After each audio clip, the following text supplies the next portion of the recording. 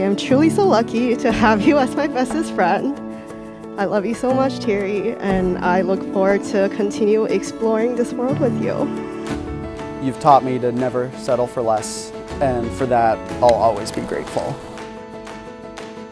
And they say home is where the heart is, and my home is truly wherever you are.